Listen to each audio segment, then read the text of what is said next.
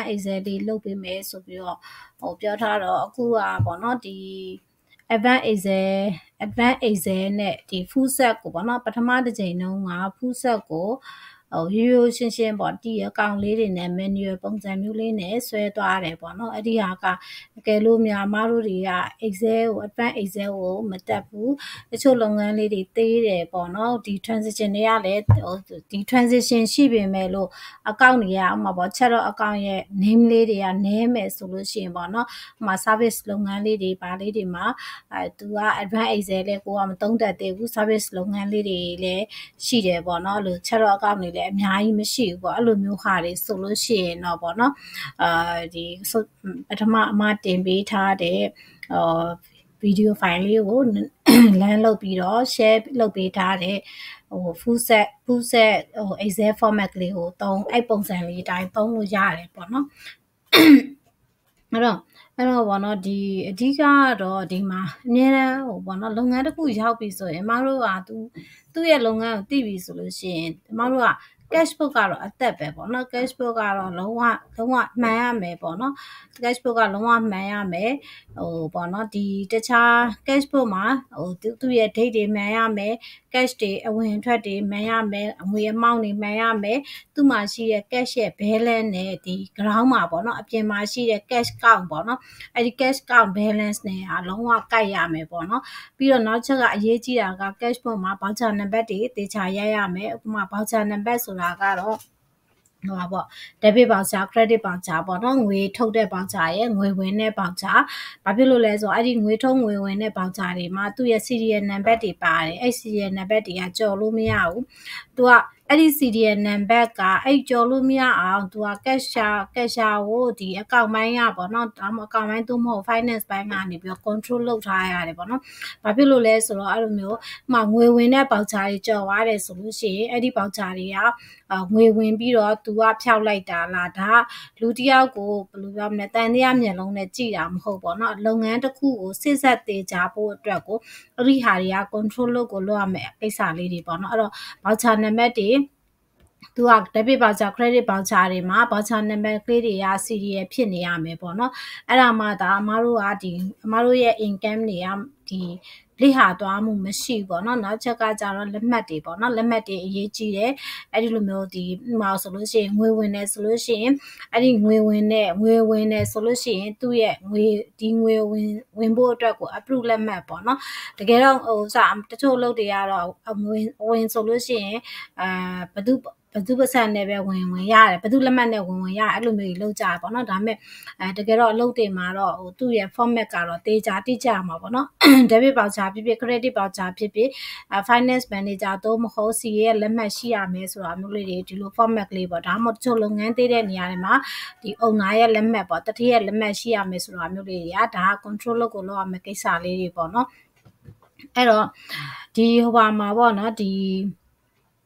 ဒီ cash မှာပေါ့နော် cash မှာအဲ့လိုမျိုး cash balance နဲ့အာဒီကိုယ့်ရဲ့စာအုပ်ထဲမှာရှိတဲ့ cash balance နဲ့အပြင်မှာရှိတဲ့ cash balance ကလုံးဝကိုက်ညီရမယ်အခုန voucher number ကလေးတွေကအရင်ရေးကြည့်တယ် date ကလေးတွေအရေးရေးကြည့်တယ်ပေါ့နော်ဘာဖြစ်လို့ date ကအရေးကြီးလဲဆိုတော့အမားတို့ကဒီ ဟိုစည်ရင်းတွေဆွဲကြတဲ့အခါကျရင်ဒိတ်နဲ့ဖြတ်တာပေါ့ဥပမာ30ရက်နေ့ဝင်ရမယ့်ဘောက်ချာဘောက်ချာကိုအမားတို့ကအာ31ရက်နေ့ဝင်ရမယ့်ဘောက်ချာကိုငွေဝင်ထားတဲ့ဘောက်ချာပေါ့31ရက်နေ့မှာအမားတို့ရှိမှာတကယ်တော့ငွေရဝင်ထားပြီးပြီအဲ့ဒီဟာကိုအမားတို့က31ရက်နေ့မှာမရေးမိလို့တရက်နေ့နောက်နောက်လာရဲ့တရက်နေ့ကြာမှငွေကိုလက်မှတ်ကိုရေးလိုက်တယ်ဒါပေမဲ့ cash book မှာကြတော့ငွေက30ရက်နေ့နဲ့ဟိုစငွေက30ရက်နေ့မှာငွေဝင်ထားတယ် cash count လုပ်တဲ့အခါမှာမှာပေါ့ဟိုဒီဥမာတရားရောက်ကဥမာပေါ့ finance manager ဖြစ်ဖြစ် CA ဖြစ်ဖြစ် cash ကိုလာပြီးတော့ cash check ပေါ့နော်လာပြီးတော့ surprise check လို့လည်းခေါ်တယ် cash check လို့လည်းခေါ်တယ်များသောအားဖြင့်အဲ့လိုတွေစစ်ကြတယ်ပေါ့နော်အဲ့လိုစစ်တဲ့အချိန်မှာငွေအမောင်းကဒီလောက်ဖြစ်နေတယ်ဒါပေမဲ့ငွေမဝင်ပြီးသားအမောင်းဖြစ်နေတယ်ပေါ့နော်ဒါပေမဲ့သူ့ရဲ့သူ့ရဲ့ဒီ credit credit မှာကြတော့ credit voucher မှာကြတော့ သူကနောက်လာရဲ့တရက်နေ့ဒိတ်နဲ့ဝင်သွားတယ်ဆိုတော့ general ledger ရိုက်တဲ့သူကအဲတရက်နေ့ဒိတ်နဲ့ရိုက်မှာလေအဲ့ခါကြလို့ရှိရင်ဒီအမားတို့ရဲ့ဒီစရင်နဲ့စရင်ရဲ့ cash cash balance နဲ့ဒီတကယ် actual အပြင်မှာရှိတဲ့ cash balance တွေကမကိုက်ဘူးဖြစ်နေမယ်ပေါ့အဲ့ခါကျတော့အဲ့ဒီဟာတွေကိုအမတို့ကတေချာသိရမယ်ပေါ့နော်နေ့တရက်31ရက်နေ့ဝင်နေဆိုရင်31ရက်နေ့ငွေကိုအဲငွေကလည်း31ရက်နေ့အဝင်ဖြစ်ရမယ် credit voucher cash ဟို credit voucher မှာလည်း31ရက်နေ့လို့တေချာရိုက်ပေးရမယ်ငွေမောင်းနေမှန်ရမယ်လက်မှတ်တွေမှန်ရမယ်ပေါ့နော်နောက်ချက်ကကြတော့ expand နေဆိုလို့ရှိရင်ဟိုကဒီ debit voucher ပေါ့နော် sorry debit voucher တွေဆိုလို့ရှိရင်ငွေထုတ်တဲ့ voucher တွေပေါ့ငွေထုတ်တဲ့ voucher တွေဆိုလို့ရှိရင်လုပ်ငန်းသေးတယ်ဆိုလို့ရှိရင်အဲ့ဒီလိုမျိုးငွေထုတ်ဖို့အတွက်ကိုတည်တည်ချာချာ control လုပ်ထားတယ်အဲသူက business ဟိုဒီ owner သို့မဟုတ်လုပ်ငန်းရှင်ကနေပြီးတော့ငါလက်မှတ်ပါမှငွေထုတ်လို့ရမယ်ဒါမျိုးတွေပေါ့တချို့လုပ်ငန်းရှင်တွေဆိုလို့ရှိရင်သူတို့ငွေကိုသူတို့ကိုယ်တိုင်အဲ ယူထားတယ်ပြီးလို့ရှိရင်အဲ့ဒီဘောင်ချာနဲ့သွားပြီးငွေထုတ်ပါဒါမျိုးလေးရှိရလုပ်ငန်းသိရင်သေးတယ်လို့ကြည့်ရင်ကြည့်တယ်လို့ပေါ့နော်ကြည့်ရင်ကြည့်တယ်လို့သူက procedure များတယ်ပေါ့သိရင်သေးတယ်လို့အဲတတိတတိယလက်မှတ်နဲ့လည်းပြီးနိုင်တယ်ဒါမှမဟုတ်သူအဲသူခန့်ထားတဲ့ CA လက်မှတ်ပေါ့ဒါမှမဟုတ် senior တယောက်ရဲ့လက်မှတ်ပေါ့အဲ့ဒါကတော့အဲသူ့မှာဟိုဟာပေါ့ဟိုစာဟိုတေချာတဲ့အရာတော့မရှိဘူးပေါ့နော်ဒါပေမဲ့သူ့ရဲ့ procedure အရာတော့လုပ်ငန်းကြီးလို့ရှိရင် လုပ်ငန်းကြီးလို့ရှိရင်အဆင့်ဆင့် control လုပ်တယ်ပေါ့နော်ဒီငွေအမောင်းကိုသိရင်သိတယ်လို့ကြည့်ရင်ကြည့်တယ်လို့ပေါ့သိလို့ရှိရင်တော့ဘယ်သူလက်မှတ်နဲ့ပါလို့ရှိရင်တော့အမားတို့လုပ်တယ်မှာဆိုလို့ရှိရင်မှာပေါ့ငွေအမောင်းဟိုတသိန်းအောက်ကိုဒီသူတသိန်းအောက်ကိုတော့ဘယ်သူရဲ့လက်မှတ်နဲ့ဟိုစား ထုတ်လို့ရပါတယ်တသိန်းထက်ကိုတော့ဘသူ့ရဲ့လက်မှတ်နဲ့ထုတ်လို့ရပါတယ်ဥပမာ9သိန်းရဲ့အောက်ကိုတော့အာ manager finance manager လက်မှတ်နဲ့ထုတ်လို့ရပါတယ်9သိန်းရဲ့အထက်ကိုတော့ GM ရဲ့လက်မှတ်နဲ့ထုတ်လို့ရပါတယ်ဒီလိုမျိုး procedure တွေမတို့က set လုပ် set up လုပ်ထားရတယ်ပေါ့နော်ဒါ procedure တွေလုပ်ငန်းတစ်ခုမှာ procedure တွေလုပ်ငန်းကြီးရင်ကြီးသလိုပေါ့ procedure တွေချရတယ်ပေါ့ဒါမဲ့ထားတော့ဒါကတော့ဟိုဥစားပေါ့နော်ဒီ senior တွေဟိုဒီသူ့ရဲ့ management level တွေကြားလို့ရှိရင်တော့ဒါတွေကသိသွားမယ်ပေါ့နော်အခုလောလောဆယ်တော့အမကအဲ့ဒီဟာတွေကိုဘုသူတအနေနဲ့ပဲဒါဟိုပြောပြတာပေါ့နော်အဲ့တော့အဲ့တော့အမားတို့ရဲ့လုပ်ငန်းရဲ့အသက်ကတော့ cash flow ပေါ့ cash flow မှာအဲ့လိုမျိုးတွေ date တွေမှန်ရမယ်ငွေမောင်းတွေမှန်ရမယ်เนาะလက်မှတ်တွေပြည့်ပြည့်စုံစုံပါရမယ်နောက်တစ်ခုကကြတော့ ဘာရေးကြည့်လဲဆိုတော့အဲခုနကပြောတဲ့ဟိုပါပေါ့ဒီ serial number တွေမှန်ရမယ်ပေါ့နောက်တစ်ခုကဘာရေးကြည့်လဲဆိုတော့ distribution ပေါ့ distribution ဆိုတာကဒီ debit credit ပါ debit voucher credit voucher ငွေထုတ်တဲ့ voucher ငွေဝင်တဲ့ voucher တွေပေါ်မှာတိကျတဲ့တိကျပြီးပြည့်စုံတဲ့ဟိုစား အကြောင်းအရာကိုရေးပေးရမယ်ပေါ့နော်တချို့ကြတော့ပြည့်စုံတဲ့အကြောင်းအရာကိုမရေးဘူးဘာလို့လဲဆိုတော့ဒီစရင်ဆိုတာကတခါကြလို့ရှိရင်အမတို့တွေကဥမာပေါ့နော်ဒီအစိုးရအခွန်စင်းတွေရှင်းတဲ့အခါကျအမတို့ရဲ့ဘောက်ချာတွေကအဲဒီလေးခုနှစ်နှစ်လောက်ထိထိမ့်သိမ်းထားရတာရှိတယ်တခါကြလို့ရှိရင်အဲတခါကြလို့ရှိရင်သူတို့ကပြန်ပြီးတော့ဟို inspection ပြန်ပြီးတော့ဟို audit ဝင်တာတို့ဒါမျိုးတွေရှိတတ်တဲ့အခါကြရင်အခါကြတဲ့အဲ့လိုမျိုးရှိတတ်တဲ့အခါကြတော့ မတို့ရဲ့ဒီ debit voucher credit voucher တွေမှာ तू ကပြည့်ပြည့်စုံစုံရေးထားမှာပေါ့နော်။ဘာဖြစ်လို့လဲဆိုတော့အဲကိုကအမြဲတမ်းဒီလုံမှာရှိနေမလားပေါ့နော်။ဒီလုံမှာကိုကအမြဲတမ်းရှိနေနိုင်ဘူးလေ။အခုလည်းရှိရင်ရှိမယ်။ဟိုတိတ်မကြခင်မှာလည်းထွက်ရင်ထွက်မယ်။ဒါမှမဟုတ်နောက်တစ်နေ့နှစ်နေ့နေလို့ထွက်ချင်တယ်ထွက်မယ်ပေါ့။အဲ့တော့ ကိုကအဲ့ဒီအချိန်ထိရှိချင်မှရှိမှာပေါ့။အဲ့ခါကျတော့ကိုရဲ့နောက်ကလူပေါ့နော်။အဓိကတော့ဒါစေတနာပဲပေါ့နော်။အများသောအားဖြင့်အမတွေးခဲ့ဘူးတဲ့ဟာတွေကကြာတွေးခဲ့ဘူးတဲ့တချို့တွေပေါ့နော်။တချို့တွေဆိုလို့ရှိရင်အဲ့လိုဒီ distribution ကိုလွယ်လွယ်ပဲရေးလိုက်တယ်ပေါ့နော်အချိန်တန်လို့အဲ့လူကအလုတ်ထွက်သွားတယ်အလုတ်ထွက်သွားတယ်နောက်တစ်ယောက်ကဝင်လာတဲ့အခါကျရင်ဒီစင်းကဘာလဲဒါဘာကိုရေးထားတာလဲဘာဖြစ်လို့လဲဆိုတော့ရေးတဲ့သူကတော့ အဲ့ဒီကာလမှာဖြစ်ပျက်နေတဲ့ကိစ္စဆိုတော့အလွယ်တကူပဲသိတယ်ပေါ့ဥပမာ expand တစ်ခုထုတ်တယ်ဆို expand expand ဆိုပြီးသူကထုတ်လိုက်မယ်ဒါပေမဲ့သူ့ရဲ့စိတ်ထဲမှာဒီ expand ကဘာအတွက်ဆိုတာ तू ကသိတယ်အဲဒါဒါဥပမာပြောပြတာပေါ့နော်ဒီလောက်တော့မရေးလောက်ပါဘူးเนาะ expand for ဘာညာတော့ရေးမယ်ထင်ပါတယ်အဲ့လိုမျိုးဆိုအဲ့တော့အဲ့ခါကျတော့နောက်တစ်ယောက်ကကြည့်တဲ့အခါကျတော့ဒါဘာအတွက်ဆိုတာရှင်းရှင်းလင်းလင်းမသိဘူးပေါ့နော် အဲ့ဒီအဲ့ဒါကြောင့်မို့လို့အမားတို့တွေက job sorry အဲဒီ distribution ပေါ့နော်အကြောင်းအရာတွေကိုအမားတို့ကပြည့်ပြည့်စုံစုံရေးထားဖို့လိုအပ်တယ်ပေါ့နော်အမားတို့ရဲ့ debit credit voucher တွေမှာအကြောင်းအရာပြည့်ပြည့်စုံစုံရေးထားလို့ရှိရင်ကိုကိုရှိသည်ဖြစ်စေမရှိသည်ဖြစ်စေဒါကိုယ့်ရဲ့နောက်လူကဒီဟာကိုတည်တည်ချာချာသိနိုင်တယ်နောက်တစ်ခုကကြတော့ဒီ transition တွေကို general ledger တွေထည့်တဲ့အခါကြလို့ရှိရင်လည်းတိကျတဲ့စည်ရင်းခေါင်းစဉ်အောက်ကိုသွားနိုင်တယ်ပေါ့နော်မဟုတ်လို့ရှိရင်တိကျတဲ့စည်ရင်းခေါင်းစဉ်အောက်ကိုမသွားဘူးရေးတဲ့သူကတယောက်လေဂျာသွင်းတဲ့လူကတယောက်ဆိုလို့ရှိရင်လေဂျာသွင်းတဲ့လူကအာဒါပဲဖြစ်မှာပါဆိုရင် तू ကသူအဆင်ပြေတဲ့ account တစ်ခုအောက်ကိုသွင်းပလိုက်မှာပေါ့အာဒီဒီလေဂျာသွင်းတဲ့လူကပေါ့ရေးတဲ့လူကကြတော့ तू ကတော့တည်တယ်လေဘာအတွက်ဆိုတာတည်တယ်ဒါပေမဲ့အဲ့လိုမတူတဲ့အခါကျရင်ဒီတိကျတဲ့ခေါင်းစဉ်အောက်ကိုမရောက်ဘူးပေါ့နော်ဒါမျိုး transition တွေလည်းမှားနိုင်တယ်ပေါ့ဒါကြောင့်မလို့အမားတို့တွေက debit credit voucher တွေကို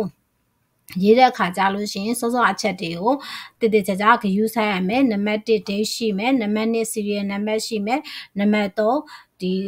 ဘောက်ချာနံပါတ်တွေရှိမယ်နံပါတ်၄ amount တွေတိကျရမယ်နံပါတ်5အဲခုနပြောတဲ့ဒီ distribution ပေါ့နော်အကြောင်းအရာတွေတေချာချာရေးရမယ်ပေါ့နော်အဲ့ဒီဟာတွေကိုအာတေချာလုပ်ပေးရမယ်ဒါကလည်းကိုကိုရင်မဟုတ်ဘူးကိုကိုကလည်းနောက်လို့တစ်ခုသွားတဲ့အခါကိုလည်းဒီပုံစံတိုင်းလိုချင်မှာပဲအဲ့ဒီလိုပဲကိုမရှိတဲ့အခါကျရင်တခြားသူက အဆင်ပြေပြေလေးနဲ့ဟိုစပေါ့နော်ဒီကိုရဲ့စရင်ကိုဟိုလက်လွဲပြီးတော့သုံးလို့ရတယ်တော့ပါပေါ့နော်ကင်လို့ရတယ်ပေါ့မဟုတ်လို့ရှိရင်ဟာရှေ့သူကဘာလို့တော့မှမသိတာမျိုးဒီလိုမျိုးစကားတွေမဖြစ်လာတော့ဘူးပေါ့နော်ဒါကတော့အလုပ်ပေါ်မှာဒီလိုစေတနာလေးတွေအမတို့ကထားပေးရမယ်ပေါ့နော်အဲ့တော့နောက်တစ်ချက်ကကြတော့ဒီပေါ့နော်အဲ့ဒါအသက်ပေါ့နောက်တစ်ခါနောက်ချက်ကကြတော့ချက်တော့အကောင့်ချက်တော့အကောင့်ဆိုတာကကြတော့ပေါ့နော်အမတို့ကဟိုပေါ့ ဒီအခုဟာအခုကတော့ချက်တော့အကောင့်တွေကအခုအမားဆိုလို့ရှိရင်ပဲချက်တော့အကောင့်တွေပုံစံနေပေးပေးထားတယ်ပေါ့နော်ဒါတွေကလည်းတကယ်တော့ချက်တော့အောင်တစ်ခုလာပြီဆိုလို့ရှိရင် အာဘယ်လိုရေးရမလဲဘယ်လိုအကောင့်ထည့်ရမလဲဆိုတာမဟုတ်စားပေါ့နော်စဉ်းစားနေရမှာစိုးလို့ပေါ့နော်စဉ်းစားနေရမှာစိုးလို့အမက ready made ကလေးတွေရေးထည့်ပေးတာပေါ့နော်ဒါတွေကအမလက်ရှိသုံးနေတဲ့အကောင့်တွေလည်းအကောင့်တွေလည်းပါတယ်ပေါ့နော်ဒီအဲလက်ရှိသုံးနေတဲ့အကောင့်တွေလည်းပါတယ်အရင်အရင်လုပ်တွေကသုံးနေခဲ့တဲ့အကောင့်တွေလည်းပါတယ်ပေါ့အဲ့ဒီချက်တော့အကောင့်ကတော့လုပ်ငန်းကြီးရင်ကြီးတယ်လို့ပဲပေါ့နော်လုပ်ငန်းကြီးရင်ကြီးတယ်လို့သူက transition တွေလည်းများတယ်အကောင့်တွေလည်းများတယ်ပေါ့နော်အခုအမတို့လက်ရှိလုပ်ငန်းမှာဆိုလို့ရှိရင်လည်းအများကြီးပဲအမတို့ကဟိုလုပ်ငန်းဟိုပါခွဲတွေလည်းလုပ်ငန်းခွဲမဟုတ်ပါ branch ဘယ်လိုပြောရမလဲဆိုတော့နိုင်ငံတွေအများကြီးအမတို့မှာရှိတဲ့အခါကျတော့နိုင်ငံအားလုံးကနေပြီးတော့ဒီ account တစ်ခုတည်းကိုပဲသုံးတာဖြစ်တဲ့အတွက်သူ့နိုင်ငံမှာသုံးတဲ့ဟာကလည်းအမတို့နိုင်ငံဒီအမဒီအမတို့ရဲ့ချက်တော့ account ထဲမှာပါတယ်အမတို့သုံးနေတဲ့ချက်တော့ account တွေကလည်းဒီချက်တော့ account ထဲမှာပါတယ်ပေါ့နော်အဲ့တော့ဘုံဘုံပါတဲ့ဟာတွေများတဲ့အခါကျတော့ဟို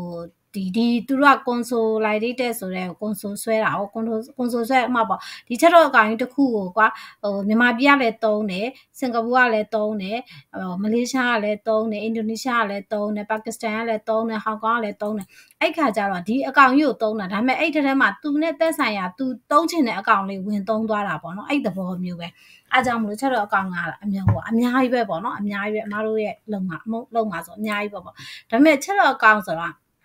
ဟိုဒီလိုမျိုးဒါ ready made ရှိနေလို့ဒါလေ ready made ရှိနေလို့ဒါအမကပြလိုက်တာပေါ့နော်တကယ်တကယ်ကြတော့ okay ချက်တော့ကောင်းဆိုတာဘာလဲရှင်းရှင်းလေးအမတို့ကပစ္စည်းလုပ်ငန်းတစ်ခုတည်ထောင်ပြီဆိုလို့ရှိရင် तू ကတန်းပြီးတော့ဘာလုပ်မလဲဆိုရင် capital ထည့်ရတော့မှာပေါ့နော် capital ထည့်ပြီးဆိုလို့ရှိရင်ငွေဝင်လာပြီ okay သူ့ရဲ့ cash မှာကြတော့ ဟိုပါပေါ့နော်ဒီရင်းနှီးမြုပ်နှံငွေထည့်တယ်ဆိုပြီးတော့အင်္ဂလိပ်လိုဆိုလို့ရှိရင်အာပေါ့နော်ဒီ introduce uh capital from owner ပေါ့အဲ့လိုမျိုးပေါ့နော်အဲ तू ကဒီလိုမျိုးလေးဟိုပါပေါ့နော်ဒီသူကစာစာလေးနဲ့ဒီမှာစပြီးတော့သူကပေါ့နော် capital introduce ဆိုပြီးတော့ဝင်လာမယ်ပေါ့ဒါဆိုရင် capital introduce ဆိုဝင်လာပြီဆိုအမားတို့မှာချက်တော့အကောင့်မရှိသေးဘူးဆိုလိုလေလေးလေဒီဟာကို double entry ခေါ်ကြည့်လိုက်မယ် double entry ခေါ်ကြည့်မယ်ဆိုလို့ရှိရင် cash မှာ cash မှာ debit နဲ့သက်ဆိုင်ရာအကောင့်မှာ credit မလားဒါဆိုလို့ရှိရင် cash မှာ cash မှာ debit ကတော့ဒါ cash cash account ဆိုပြီးအမားတို့ကဒါရှိမှာပေါ့နော် cash တို့ bank တို့ရှိမှာပေါ့ cash မှာ debit နဲ့သူ့ရဲ့သက်ဆိုင်ရာ account ဆိုသက်ဆိုင်ရာ account ဆို capital introduce ဆိုအမားတို့က capital account ပေါ့ capital ဆိုပြီးတော့ပြောလိုက်မယ်အဲ့ဒီမှာ credit ဆိုလို့ရှိရင်ဒီ capital ဆိုတဲ့ဟာလေးရယ်ဒီ cash ဆိုတဲ့ဟာလေးကဒါချက်တော့ account ပေါ့နော်စရင်ခေါင်းစဉ်လေးပေါ့ချက်တော့ account ဆိုတာဘာလဲဆိုတော့စရင်ခေါင်းစဉ်လေးကိုပြောတာပဲလीเนาะအဲ့လိုမျိုးလေးဒါဆိုလို့ရှိရင်တန်းပြီးတော့အော်ဒါဒါဆိုလို့ရှိရင်အမတို့ရဲ့ချက်တော့ account ဆိုနှစ်ခုရသွားပြီပေါ့နော်နှစ်ခုရပါပြီခေါင်းစဉ်နှစ်ခုရသွားပြီပေါ့အော်နောက်တစ်ခါဒီမှာဒီမှာဆိုလို့ရှိရင်ဒီဥအေးလွင်ဆိုတဲ့ ဥအေးလွင်ကနေပြီးတော့เนาะဒီဥအေးလွင်ဆိုတာကသူကအုံနာပေါ့เนาะအုံနာကနေပြီးတော့ဒီဒီဘေဒင်ကိုပေါ့เนาะအယောင်အာဒီ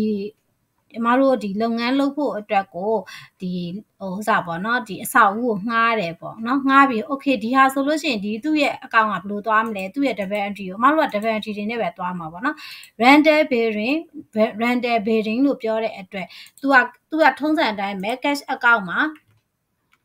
ဒီ bearing ငားတယ်ပေါ့နော် bearing ငားတယ်360လို့ပြောတဲ့အတွက် cash account မှာ cash account မှာဗာလဲဆိုရင် तू က credit credit 360ပေါ့နော်ပြီးလို့ရှိရင်နောက် account ကကြတော့ तू ကသူကတစ်နှစ်စာငှားထားတာဖြစ်တဲ့အတွက်เนาะ prepaid rent ပေါ့နော် prepaid rent ဆိုပြီးအမတို့ကကြိုပေးထားတဲ့စရိတ်ကိုထည့်ရမှာပေါ့နော်။ဘာလို့ဆိုတော့တစ်နှစ်စာငှားထားတာဟိုတစ်နှစ်စာငှားထားတဲ့အတွက် prepaid rent မှာအမတို့ကဘာလဲဆိုရင် debit ပေါ့နော်ဒီသူ cash ကနေပြီး credit နဲ့ထွက်သွားတယ် prepaid rent မှာ debit ဆိုဒါဆိုလို့ရှိရင်အမတို့ကဒီမှာဆိုရင်နောက်ထပ် chat account ပေါ့ဒီစည်ရင်းကောင်းစဉ်လေးတစ်ခုထပ်တိုးလာပြီ prepaid rent ပေါ့နော်ဟုတ်ပြီနောက်တစ်ခုကကြတော့ဒီမှာကဲပွင့်ဦးကနေပြီးတော့ furniture တွေဝယ်မယ်ပေါ့နော် furniture တွေဝယ်လိုက်တယ် okay ဝယ်လိုက်တယ်ဆိုလို့ရှိရင်အမတို့ကသူ့ရဲ့ debit entry ကိုဘယ်လိုသွားမလဲဆိုလို့ရှိရင်အမဒီနားလေးမှာခဏပြလိုက်မယ်နော်ပွင့်ဦးကနေ furniture တွေဝယ်လိုက်တယ်ဆိုလို့ရှိရင် okay အောက်မှာပဲပြလိုက်မယ်ဟိုဖြစ်မှာဆိုလို့နော်အပွင့်ဦးကနေ furniture ဝယ်လိုက်တယ်ဆိုရင်ထုံးစံအတိုင်းဝယ်လိုက်တဲ့အတွက် cash account မှာပါလဲဆိုလို့ရှိရင် credit နဲ့ငွေထွက်သွားမှာပေါ့နော်ဒီပစ္စည်းဝယ်တယ်ဆိုလို့ရှိရင်ဟို cash account အဲ့ဒါကြောင့်မို့အမကဒီ debit entry တွေစဉ်းစားတဲ့ခါကြလို့ရှိရင် cash နဲ့စဉ်းစားပါဘာလို့ဆို cash မှာငွေဝင်နေဆိုရင် debit ဒီ cash မှာငွေထွက်တယ်ဆိုရင် credit ပေါ့ဒါဆို expense တွေဆိုလို့ရှိရင် cash မှာ credit နဲ့သူ့ရဲ့သက်ဆိုင်ရာ account တွေမှာ debit ပေါ့နော် income တွေဆိုရင် cash မှာ debit နဲ့သူ့ရဲ့သက်ဆိုင်ရာ account တွေမှာ credit ပေါ့အဲ့လိုပုံစံမျိုးလေးပေါ့နော်ဒါကဒါကဟိုစ WND ကိုပြောပြတယ် WND စဉ်းစားမယ်ဆိုလို့ရှိရင်အဲ့လိုပုံစံမျိုးနဲ့စဉ်းစားလို့ရတယ်အခုကအမတို့က furniture ဝယ်ပြီး cash မှာ credit ဆိုရင် furniture account ပေါ့နော် furniture account ထားပါတော့ furniture အကောက်မှာပါလဲဆိုရင် तू က debit ဖြစ်သွားမှာပေါ့နော် debit ဖြစ်သွားမှာဒါဆိုလို့ရှိရင်အမတို့ကကဲ furniture ဟုတ်ပြီ furniture debit ဆိုလို့ရှိရင် furniture ကဒါကဘာလဲဆိုရင် furniture ဆိုလို့ရှိရင် तू က fixed asset တွေပဲ fixed asset တွေဆိုလို့ရှိရင်ငါတို့က depreciation charge လုပ်ရမယ်ဒါဆိုလို့ရှိရင်နောက်ထပ် account လေးတစ်ခုထပ်ဖွင့်ထားမယ်ပေါ့နော်ဒါကလည်းအခုအခုဒီမှာမဖွင့်လဲအမတို့လကုန်ကြမှာဖွင့်လဲရတယ် လောက်ကုန်ကြမှာအခုလောက်ကုန်ကြဖွင့်တဲ့အခါကျရင် accumulate ဟိုပေါ့ accumulated depreciation account ဆိုအမတို့ကဖွင့်လိုက်လို့ရတယ်လောက်ကုန်ကြမှာသူက debit ဟိုဂျာနယ်ရိုက်မှာဟုတ်နော် depreciation တွေ charge လုပ်မှာဆိုတော့အခုမဖွင့်နဲ့ဟုတ်အဲ့တော့ဒီမှာဆိုလို့ရှိရင် furniture မလား furniture ဆိုလို့ရှိရင် furniture account လေးတစ်ခုတစ်ခါ cash က cash ကတော့ထုံးစံရှိပြီးသားစရင်ကောင်းစဉ်တစ်ခုပဲ capital လေးတွေရှိလာတယ် prepaid run လေးတွေရှိလာတယ်နောက်တစ်ခါ furniture လေးတွေရှိလာတယ်ပေါ့နော် furniture account ဆိုပြီးထည့်ထားလိုက် လာကုန်ပြီဆိုတဲ့အခါကျမှအော် furniture account မှာတို့က depreciation ရရမှာဖြစ်တဲ့အတွက် accumulated ဟို furniture account ရှိရအောင်မယ်ဒါဆိုလို့ရှိရင်ဒီကောင် accumulated furniture ဆိုရင်ဒီကောင်လို့ add cost လုပ်လိုက်မယ်ဒါမှမဟုတ် add cost မလုပ်လဲရတယ်ဘာမှမဖြစ် furniture account ဆိုလဲရတယ်ဒါပေမဲ့တချို့တွေကြတော့ဒီမှာကျတော့ furniture and fitting ဆိုပြီးတော့ तू က तू ကထည့်ပေးထားတာပေါ့နော် furniture အဲ့တော့ဒီလို furniture ဆိုပြီးလုံးလိုက်လေရတယ်တခုဟိုမှာပေါ့နော်အမပြထားတယ်ဟိုပေါ့နော် furniture and fitting ဆိုပြီးတော့ယူလဲရတယ်ပေါ့အဲ့ဒါ ready made ကလေးတွေပေါ့နော်အဲ့တော့ဒါ furniture account ဆိုလဲရတယ်ဟုတ်ပြီအဲ့ဒါဆိုလို့ရှိရင်အမတို့ကဒါဗာလဲဆိုရင်စင်းရင်ကောင်းစင်လေးတွေတိုးလာပြီဟုတ်တယ်မလားအဲ့တော့ချက်တော့အကောင့်ဆိုတာကအမက ready made ပေးထားတယ်ဆိုတာကအလွယ်တကူယူသုံးလို့ရအောင် ready made ပေးထားတာပေါ့နော် ready တကူယူသုံးလို့ရအောင် ready made ပေးထားတာအကယ်၍လုပ်ငန်းတစ်ခုကိုကိုကိုတိုင်းပေါ့နော် ကိုကိုတိုင်းစပြီးတော့ချက်တော့အကောင့်တွေလည်းထောင်ရမယ်เนาะချက်တော့အကောင့်တွေလည်းထောင်ရမယ်အခုလိုမျိုးပေါ့เนาะဟို तू ကသူ့စီမှာ cash book ပဲရှိတယ် cash book ကတော့ဒီတချို့လုပ်ငန်းတွေရှိပါတယ်လုပ်ငန်းသေးတယ်ဆိုရင်စင်းကိုင်မထားသေးဘူးပေါ့เนาะမထားသေးဘူးဒါပေမဲ့လို့ သူတို့မှာတေးသေးချာချာလှုပ်ထားတဲ့ cash book လေးရှိတယ်ပေါ့အဲ့တော့လုပ်ငန်းတွေတော်တော်များများလည်းကဲ၍စင်းငိုင်မခန့်နိုင်သေးဘူးဆိုရင် cash book ကိုတေးသေးချာချာလေးတွင်းထား distribution တွေကိုတေးချာလေးတွင်းထားပေါ့နော်အဲ့လိုမျိုးဆိုလို့ရှိရင်ဒါအစင်းရဆွဲလို့ရတယ်ပေါ့နော်အဲ့ခါကျတော့အဲ့တော့သူတို့တွေဆိုလို့ရှိရင်ကိုကစပြီးတော့လုပ်ငန်းသူ့မှာသူကနေပြီးတော့ကိုကအလုပ်တစ်ခုဝင်လိုက်တယ်ဝင်လိုက်တဲ့ခါကျသူ့မှာ cash book ပဲရှိတယ်ဒါပေမဲ့ကိုကအခုစပြီးတော့ဟို general စပြီးတော့ကိုကဒီလုပ်ငန်းကိုဟို profit and loss တို့ balance sheet တို့ဆွဲရတော့မယ်ဆိုရင်ဆက်စအောင်ခြင်းပါလဲဆိုသူ့ရဲ့ transition ကိုကြည့်ပြီးတော့အမားတို့ကတန်းပြီးတော့ဒီမှာ account တွေကိုတိဆောက်တော့မယ်ဒီ transition လေးကြည့်လိုက်ရင်ဟာဒါလေးဆိုရင် cash က debit capital မှာ credit ဒါ capital introduce အာနောက်တစ်ခုကျတော့ဒီအင်ငန်းငှားတယ် cash မှာ credit prepaid rent ကြိုပြီးပေးထားတဲ့ဈေးဘာလို့ကြိုပေးထားလဲဈေးလဲဆိုရင်အမားတို့ကအခုစည်ရင်းဆွဲမယ်ဟိုတစ်နှစ်စာဆိုလို့ရှိရင်တော့တစ်နှစ်စာသူကတစ်နှစ်စာအကုန်လုံးဒီ account မှာတစ်နှစ်စာ ဟိုဒီ cash cash book ကတစ်နှစ်စာတစ်နှစ်စာဆွဲမယ်ဆိုလို့ရှိရင်တော့ဒီဟာ prepaid rent ကိုအမတို့ကထည့်စရာမလိုဘူး rent expense ဆိုပြီးတော့ debit နဲ့ cash က credit နဲ့ rent expense ဆိုပြီး debit တန်းထည့်လိုက်လို့ရတယ်ဒီမှာအမတို့က prepaid rent လို့ဘာလို့ထည့်ထားလဲဆိုလို့ရှိရင်အမတို့ကတစ်လတစ်ခါသူက profit and loss balance sheet ဆိုတဲ့ report တွေထုတ်မှာဖြစ်တဲ့အတွက်ဒီကောင်ကို prepaid rent လို့ထည့်ထားတာပေါ့နော်အကယ်လို့တစ်နှစ်စာထည့်မယ်ဆိုလို့ရှိရင်ဒီနေရာမှာ prepaid rent ထည့်စရာမလိုဘူး cash က credit နဲ့ rent မှာ debit ဆိုရင်ပြီးသွားပြီပေါ့နော်အဲ့ဒါဆိုလို့ရှိရင်ဘာလို့ဆိုတော့ तू ကတစ်နှစ်တစ်နှစ် repo ဖြစ်တဲ့အတွက်တစ်နှစ်စာအတိအကျပဲ तू ကကြိုပြီးပေးထားတဲ့ဈေးဆိုတာမရှိဘူးပေါ့နော်ဒါလေးကိုလည်းတည်တည်ချာချာလေးမှတ်ထားဖို့လိုတယ်ပေါ့နော်ဟုတ်ပြီနောက်တစ်ခုကကြတော့ဒါလည်းဆိုရင် furniture ဝယ်မယ်ဆိုရင် cash မှာ credit နဲ့ furniture မှာ debit ပေါ့အဲ့ဒီလိုပုံစံမျိုးလေးနဲ့ကိုကချက်တော့အကောင့်လေးကိုတိဆောက်သွားမယ်ပေါ့နော်ချက်တော့အကောင့်လေးကိုဒီပုံစံလေးနဲ့တိဆောက်သွားမယ်ဒီအမားတို့လိုမျိုး ဟိုအမားတို့လိုမျိုးပေါ့နော်ဒီလိုမျိုးကြီးဟိုဟာဖြစ်เสียမလို့ဘူးဘယ်လိုပြောမလဲခဏလေးကြည့်လိုက်အောင်မယ်ဘယ် try ကိုသွားမယ်နော်အမတို့လိုမျိုးဒီလိုမျိုးတွေပေါ့နော်ဒီလိုတွေပေါ့ဒီလိုပုံစံတွေဖြစ်เสียမလို့သေးဘူးပေါ့ဒါကအကယ်လို့များကိုယ့်ရဲ့လုပ်ငန်းမှာဟိုပေါ့နော်ကိုယ့်ရဲ့လုပ်ငန်းမှာခုနလိုမျိုးကိုယ့်ဘက်တကူမတိဆောက်ချင်ဘူးဒီလိုမျိုး ready made ဟာလေးတွေရှိတယ် အခုဆိုလို့ရှိရင်အမပေးထားတဲ့ဟာလေးရှိမှာပေါ့နော်ရှိတယ်ဆိုလို့ရှိရင်ဒီထဲမှာလည်း furniture ဆိုလို့ရှိရင် furniture ဝယ်လိုက်ပြီဆို okay furniture and fitting at cost ပေါ့နော်ဒါလေးကိုအမတို့ကဟိုထည့်လိုက်မယ်အဲ့လိုမျိုးလေးလည်းရရတယ်ပေါ့နော်လိုအပ်တဲ့အကယ်လို့များအမအခုပေးထားတဲ့အထဲထဲမှာတချို့ဟာတွေမပါဘူးဆိုလို့ရှိရင်လည်းကိုယ့်ရဲ့ ကိုယ့်ရဲ့အလုပ်လုပ်ငန်းကိုလိုက်ပြီးပေါ့နော်လုပ်ငန်းကိုလိုက်ပြီးတော့သူက expand နေရဲ့ expand နေလဲကွာသွားမယ်နော် income နေလဲကွာသွားမယ်ဘလို့ပဲကွာသွားပါစေနော် expand နေဆိုရင်ရှိတယ်မရှိတဲ့ expand နေဒီမှာဖြုတ်ပလိုက်ပြီးတော့ကိုယ်မှာရှိတဲ့ expand လေးထည့်လိုက်လဲရရတယ်ပေါ့နော်ဒါမှမဟုတ်ရှင်ဒီမှာ expand နောက်တစ်မျိုးထပ်ထည့်လိုက်လဲရရတယ်ပေါ့အဲ့ဒီလိုမျိုးကိုလုံးလို့ရတယ် income နေဆိုလို့ရှင်လည်းဒီကောင်ဆို sale income မဟုတ်ဘဲနဲ့ service တွေဖြစ်မယ်ဆိုလို့ရှင် service income ဆိုပြီးပြောင်းလိုက်လို့ရတယ် ဟုတ်တယ်မလားအဲ့လိုမျိုးလေးပေါ့အဲ့တော့ကိုကဒါလေးကိုပြောင်းပြီးတော့လှုပ်လှုပ်ကြည့်သွားလို့ရတယ်ပေါ့နော်လှုပ်ကြည့်သွားလို့ရတယ်ဒါမှမဟုတ်လို့ရှိရင်လည်းကိုကိုကတကယ်ကိုဥစ္စာဖြစ်ချင်တယ်ဆိုလို့ရှိရင် chat တော့အကောင့်ကိုအဲကိုယ့်ဘက်ကိုတိဆောက်ချင်တယ်ဆိုရင်စောစောအမပြောတဲ့ chat တော့အကောင့်တိဆောက်ပုံလေးပေါ့နော် transition ကိုလိုက်ပြီးတော့ chat တော့အကောင့်လေးတွေကိုကိုကရေးမယ်ပေါ့နော်အဲ chat တော့အကောင့်လေးတွေတိဆောက်မယ်ဒါဆိုလို့ရှိရင်လည်း तू ကဘာဖြစ်လဲဆိုတော့ဒါဆိုလို့ရှိရင်လည်း chat တော့အကောင့်တိဆောက်တာပဲလေเนาะအဲ့တော့ အဲ့တော့ဘာမှဒါကြီးကအရင်ခက်ခဲဒါမဲ့မခက်ခဲဘူးဆိုတာကတော့အမကအမ level နဲ့အခုပြအခုတင်ပေးနေတဲ့ဟာကြတော့ तू ကတကယ်ကိုဟိုဒီအမတို့ junior တုန်းက junior account တွေပါကြီးလုပ်တုန်းကလောက်ရတာဖြစ်တဲ့အတွက်ပေါ့နော်ဒါကတော့အမအတွက်ကလွယ်တယ်ဆိုပြီးတော့ဟိုအမကတော့လွယ်မှာပေါ့ဆိုပြောမှဆိုလို့လေနော်ဒါပေမဲ့လို့အခုအမရှင်းပြတဲ့သဘောတရားလေးအတိုင်းကို နားလည်မယ်ဆိုလို့ရှိရင်ပေါ့ချက်တော့အကောင့်ဘလို့တိဆောက်လဲဆိုတာကိုသိသွားလိမ့်မယ်ပေါ့နော်အမတို့ကဆိုလို့ရှိရင်ဒီလိုမျိုးအမကိုပြောပြမဲ့သူမရှိဘူးအမတို့ကတော့ပြောပြမဲ့သူမရှိဘူးမရှိပေမဲ့လို့အမကတော့ဆရာကောင်းနဲ့တွေ့ခဲ့တဲ့အတွက်အမက report တွေဟိုအနိကတင်ကြားပြီးတော့ဆွဲခဲ့ရတာရှိတယ်ပေါ့နော်အဲ့တော့အမကလည်းအမရဲ့ဒီ channel လူတွေကိုလည်းအဲ့ဒီလိုပဲအမလိုကံကောင်းမှုမျိုးတွေပေးချင်တယ်ပေါ့နော်ဒါကြောင့်မလို့အမကအဲဒီ group လေးမှာအမ sharing လုပ်ပေးနေတာပေါ့နော်ဘာလို့လဲဆိုတော့အလုပ်လည်း အမအလုပ်လည်းရမ်းများတယ်အမအခုဆိုရင်ပို့ဆိုးသေးတယ်အမဒီ class တွေ class တွေလည်း ဖွင့်လိုက်တော့ဗောနော် class တွေကလည်းအခု online ကလည်းဖွင့်ပေးရတယ် face to face ကလည်းဖွင့်ပေးရတယ်အခုတခါဒီတကြံတွင်းလေးကိုအဆင်ပြေပါတကြံတွင်းလေးဆိုတော့ပိတ်ရက်ကလေးရှိတော့ဟိုတချို့လိုချင်တဲ့လူတွေမြန်မြန်လေးဒီတက်သွားအောင်လို့ပေါ့နော်မဟုတ်လို့ရှိရင်ဂျားထဲမှာဆိုရင်ကြာနေမှာဆိုလို့လေအားနဲ့တကြံတွင်းလေးကိုဒါလေးကိုလုတ်ပေးမယ်ဆိုပြီးအမှလုတ်ပေးလိုက်တဲ့အတွက်အဲလုတ်လဲရှုပ်တယ်ပေါ့ပြီးတော့တနေ့တနေ့ဂရုထဲမှာလာပြီးတော့ကြံကြံတောင်းတဲ့သူတွေဟိုရင်လာဖွင့်တဲ့လူတွေအများကြီးပဲပေါ့နော်အဲ့လိုမျိုးတွေကလည်းအများကြီးပဲဒါပေမဲ့အမအဲ့ဒါတွေကိုလည်းမလင်ဟင်းအောင်ပေါ့နော်အဲဘာဖြစ်လို့လဲဆိုတော့အမ reply မပြန်လိုက်လို့ဟိုသူတို့စိတ်ထဲမှာ reply မပြန်ဘူးဆိုစိတ်ထဲမှာစိတ်မကောင်းဖြစ်မှာလဲဆိုတယ်အားငယ်တော့မှလဲဆိုတယ်ပေါ့နော်အားကြောင့်မလို့အမ reply တွေကိုလည်းညတနားရီဖြစ်လဲတနားရီနှစ်နာရီဖြစ်လဲနှစ်နာရီအမထိုင်ပြီးတော့ reply ပြန်ပေးတယ်ပေါ့နော်အဲ့တော့အဲ့တော့ဟို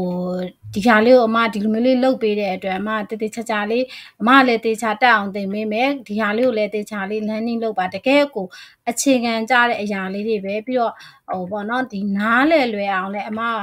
ဘယ်လိုလေးရှင်းပြရင်ကောင်းမလဲဆိုတာကိုအမစဉ်းစားအခုဆိုလို့ရှိရင်ဒီ full set with advanced excel ကိုသင်မဲ့ဟာလေးဆိုအရင်တော့အမသင်ခဲ့တဲ့ဟိုစာဟာတွေရှိတယ်ရှိပြီးတော့အဲ့ဟာလေးကိုပဲအမပြန်တင်လိုက်ရင်ရတယ်ဒါပေမဲ့လို့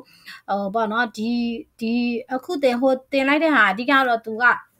ဟိုထပ်ပြီးတော့ပေါ့နော်ဟိုဟိုအားလုံးကကြတော့အမလွန်ခဲ့တဲ့3နှစ်လောက်ကတင်တာပေါ့နော်ဒါအဲ့တော့ကကြတော့အမကဒီ fees တစ်ခုနဲ့တင်တာပေါ့ fees ကအမတသိန်းခွဲယူတယ်ပေါ့နော်အခုအဲ့ဒီဟာကိုအမကိုဒီမှာ sharing လုပ်ပေးတဲ့အခါကြလို့ရှိရင်အဲ့ထက်ပိုပြီးပြည့်ပြည့်စုံစုံလေးပေါ့နော်အမရဲ့ကလေးတွေလည်းရှိတယ်အဲ့တော့ဟိုဟိုဟာတစ်ခုကိုလည်းအမတင်ထဲမှာတက်တက်ဖူးတဲ့ကလေးတွေဆိုရင်ဒါလည်းရမယ်အရင်ဟာတွေလည်းသူတို့သိရမယ်ပေါ့နော်ဒါပေမဲ့အမတင်ထဲမှာတက်ခဲ့တဲ့ကလေးတွေကတော့အားလုံးကတော့ senior လည်းဖြစ်နေကြပြီနောက် report တွေလည်းဆွဲနေကြပြီဆိုတော့ဒါသူတို့အတွက်ကဒီအခုဒီဟာလေးတွေကတော့လွယ်လွယ်မှာပေါ့နော်ဒါပေမဲ့အခုလက်ရှိမှာလုံးမဲ့သူတွေဒီမှာပေါ့လုံးကိုလုပ်ငန်းအတွက်ကို business အတွက်ကိုဟိုတုံးချင်တဲ့သူတွေဆိုလို့ရှိရင်တော့ဒါလေးတွေကဟိုဥစားအတုံးတဲ့မှာပေါ့နော်ဟုတ်ပြီအဲဆိုလို့ရှိရင်အမတို့ကချက်တော့အကောင့်ချက်တော့အကောင့်ဘယ်လိုတိဆောက်လဲဆိုတာလေးကိုအမကပြောပြပြီပေါ့နော်ဒါဆိုလို့ရှိရင်အမရဲ့ချက်တော့အကောင့်လေးကိုအမကဟိုအခုလောက်ထားတဲ့ချက်တော့အကောင့်လေးကိုအမ sharing ပြန်ထပ်ပြီးတော့ sharing လုပ်ပေးမယ်ပေါ့နော်အဲ့တော့အမဒါကအမ တီဆောက်ထားတဲ့ share အကောင့်လေးပေါ့နော်အဲ့တော့ဒီဟာလေးမှာဆိုလို့ရှိရင်ဒါကတော့ဟိုအရင်တုန်းကလည်း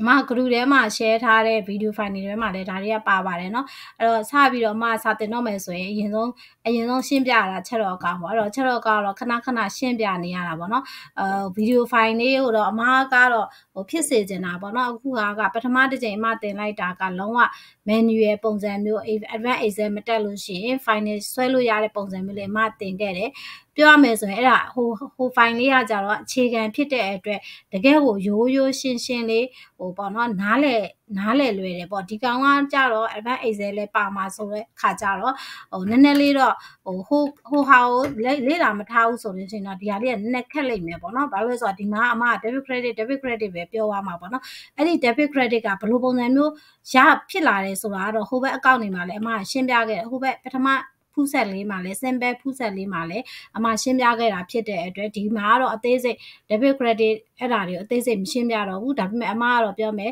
အခုနလိုပေါ့နော်ဒီ transaction ဆိုရင်ဘယ်ဟာကတော့ debit ဘယ်ဟာကတော့ credit ဒီလိုမျိုးလေးတော့အမကပြောသွားပေးမယ်ပေါ့နော်ဒီ T account အနေနဲ့တော့အမကမရှင်းပေးတော့ဘူးပေါ့နော်ဟုတ်ပြီအဲ့ဒါဆိုလို့ရှိရင် ဒါကတော့ financial and fitting at cost ပေါ့နော်ဒါမှဒီမှာလည်းရှင်းပေးတာပါနောက်တစ်ခါ accumulated เนาะဒီ fee asset တွေဒီမှာဆိုလို့ရှိရင် type က fee asset အမ FA လို့ပဲရေးပေးထားတယ်ပေါ့နော် fee asset type เนาะအဲ့တော့ဒီမှာဆိုလို့ရှိရင်အမဒီဟာလေးတစ်ခုပြောချင်တာအခုဒီမှာဆိုလို့ရှိရင်ကြည့်လိုက်ပေါ့နော် cap CA ဆိုတာ current current assets ပေါ့နော်ဒီအောက်က capital ရှိမယ်